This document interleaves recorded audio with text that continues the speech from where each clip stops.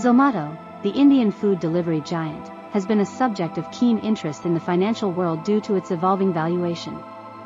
Since its IPO in July 2021, Zomato's valuation has witnessed fluctuations, reflective of broader market dynamics and the company's own performance. As of August 27, 2023, Zomato's market capitalization stands at $4.54 billion, below its last private valuation of $5.4 billion. Several factors contribute to this valuation scenario, including market sentiment, profitability challenges, competition, and the regulatory environment. Zomato operates in the tech stock market, which is known for its volatility. Broader market trends and investor sentiment can significantly impact its valuation. Being yet to turn a profit, Zomato's profitability challenge can influence investor perceptions the market tends to favor companies that demonstrate a clear path to profitability.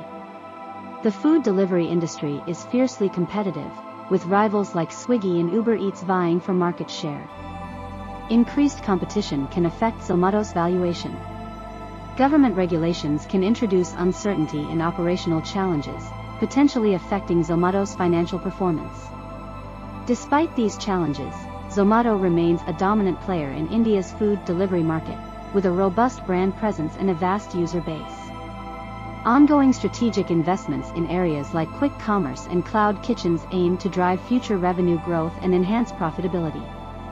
Zomato's valuation is influenced by various factors, including market conditions, financial performance, competitive landscape, strategic initiatives, and the broader tech stock environment in India. Investors and analysts will continue to closely monitor Zomato's performance and how it navigates these dynamics in its quest for sustained growth and profitability.